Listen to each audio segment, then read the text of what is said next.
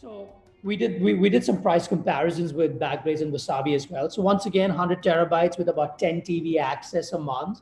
Um, and obviously, the first thing that jumps out with a Wasabi is you know the zero egress cost. But you, got to also understand that you know for a 10 TB egress out of Backblaze, you know ain't too bad either, right? When you kind of do the overall comparisons, you know these two providers are not too far from one another, right? So one of the interesting things we found out is if you sort of take the total cost of storage at $7,200 and you compare that with a uh, AWS uh, or an Azure uh, coming in about $14,000, uh, the 14,000 really is with egress, right? So if you are doing a apples to apples comparison with a Wasabi and a Backblaze with an AWS or an Azure, uh, which means you're egressing your data out of the data center, you know, these two providers win, right? And they win handsomely, right? We're talking about double the cost uh, compared to an AWS, right? But I think what's important to understand is if you start to repurpose in the cloud, things change, right? So the same $7,200, if you repurpose in the cloud, is roughly 24 to $3,600, right? So if you repurpose in the cloud, a Wasabi and a Backblaze ends up being double the price than an AWS or an Azure, right? As long as you repurpose in the cloud. Well, you got to pay for the, the virtual machine instances that you're going to spin up. But if you talk about storage and access, well, these providers are very cost effective if you repurpose in the cloud, right? And if you don't touch your data at all, which is, you know, right here, well, it's $1,200 a year on AWS and Azure versus about 7,000 on Backblaze and Wasabi, right? So if you're looking for a dump and forget, uh, you know, again, the balance starts to shift back to AWS and Azure.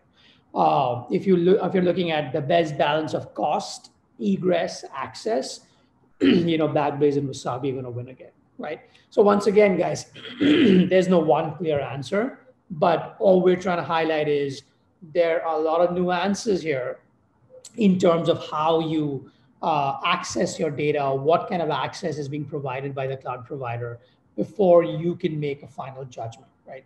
And um, and it's especially uh, worth uh, talking a bit more about Wasabi's egress, right?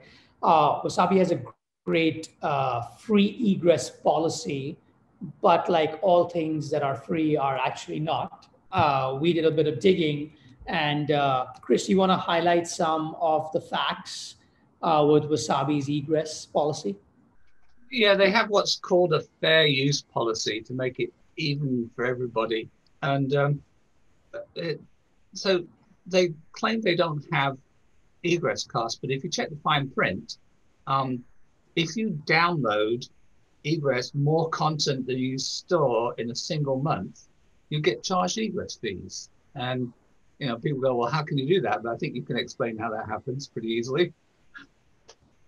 Yeah, no, exactly. And and you know, one of our clients, and you know, maybe Matt, you want to add add a little bit here. Um, one of our clients, you know, is using Wasabi as a cache, right? So not as a traditional backup and archive. Uh, you know, they upload to Wasabi once, and then they have multiple users that Fabric is distributing the data to, right? So one upload versus ten downloads, right?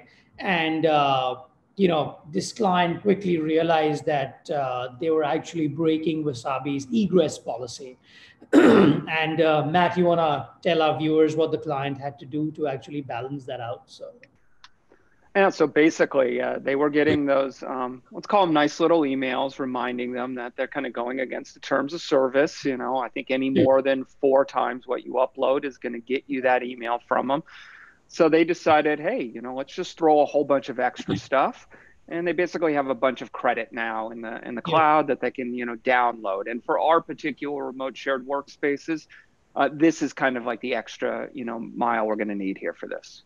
Yep. No, definitely. So again, you know, um, I think what's important is that when you're considering these storage-only providers, if you're looking for a simple cloud-based sort of target for your backup and archive, you know, it's it's they're the ones to go. Um, you know, however, you know, the expert tip here is consider the fine, fine print, right? Uh, you know, yes, the, the egress policy on Wasabi is accurate. It is zero, but it is it comes with the fine print. make sure you read it. And also want to reflect the fact that you know Backblaze does have an egress uh, uh, cost, but it's not very high, right? Uh, so you know with that, um, you know we also do support both Backblaze and Wasabi as part of DNAfabric. Uh, we have clients, you know, which Matt will highlight that are using uh, these providers as well. Uh, Matt, you want to give us a bit of uh, insight on how our customers are using uh, these providers with their workflows? Yeah, sure. Um, so, you know, like the hyperscalers we just previously discussed, you know, our clients are using these for that backup, for an archive, for a quick conform or something. Um, as we've also talked about, it's a great cache storage, a temporary location, someplace where we can easily move from, say, one coast to the other, back and forth. Um, you know, we also have a lot of clients that are using this as a migration point. They're either migrating to it or migrating away from it. So we've been able to kind of migrate between different cloud providers. So um, great, as you guys have said, you know, easy to sign up, easy for to use. Um, but it's a good starting point and then maybe leads into something else or we just stay there. So.